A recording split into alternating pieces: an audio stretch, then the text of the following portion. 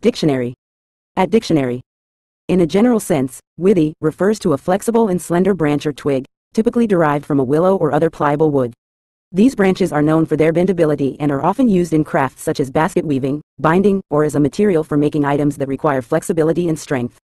Withies are valued for their ability to be easily shaped and manipulated into various forms due to their inherent suppleness. The term highlights the utility of such branches in traditional crafts and their suitability for tasks requiring natural flexibility and resilience in their material composition.